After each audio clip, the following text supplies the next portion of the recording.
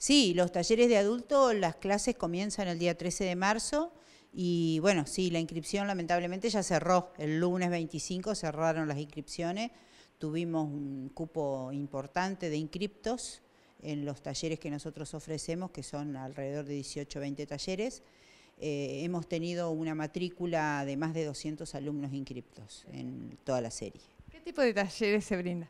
Bueno, los talleres que nosotros estamos brindando acá en la escuela ahora son pintura, mural, historieta, caricatura, eh, vitrales, fotografía, serigrafía, em, varios, digamos, que todos lo que tengan que ver con artes en adultos. ¿Para personas mayores de 18 años en adelante? En la mayoría de los casos, eh, mayores de 18 años hasta lo que quieran.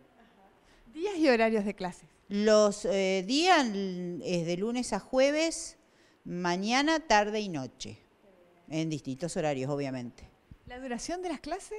Las horas de clase eh, varían, depende del taller, de dos horas a una hora y media, tres horas, depende. Y lo que hay que destacar que estos talleres son absolutamente gratuitos, porque dependen de la Facultad de Humanidades, de la UADER, eh, nosotros, digamos, bregamos por la universidad pública, así que los talleres son gratis.